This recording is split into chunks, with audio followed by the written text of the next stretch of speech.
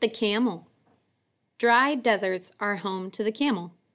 There are two kinds of camels the Arabian camel, or dromedary, and the Bactrian camel. Both types have many structural adaptations for surviving in deserts. Camels have thick fur that changes in summer and winter. Even desert temperatures get very low in winter, so a camel's fur grows long to keep its body warm. In summer, a camel's fur sheds so the camel stays cool. Its body covering helps it survive. Camels use camouflage to keep safe too. Sand covers much of the desert.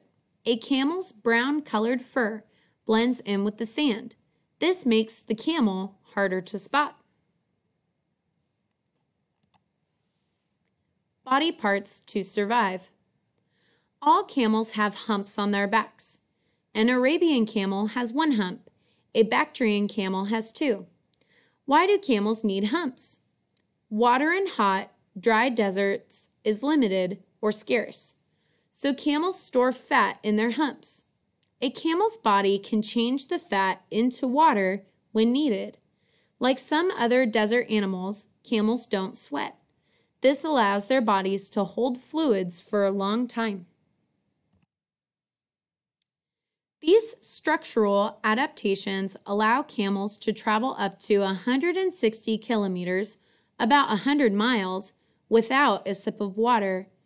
When camels do drink, reports the website Live Science, they can soak up to 115 liters, or about 30 gallons, of water in 13 minutes.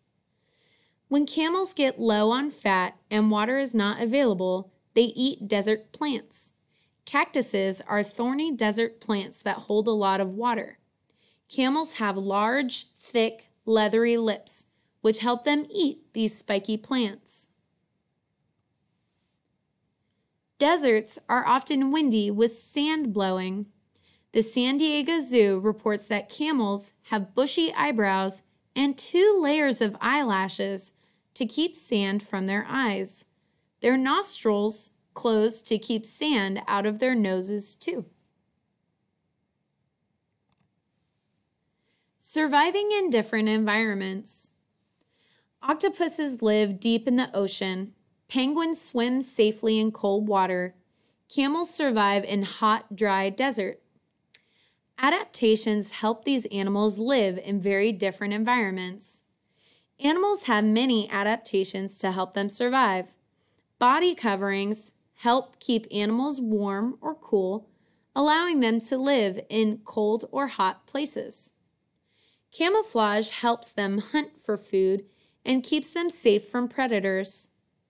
Different structural adaptations help them eat, hunt, and live in different environments.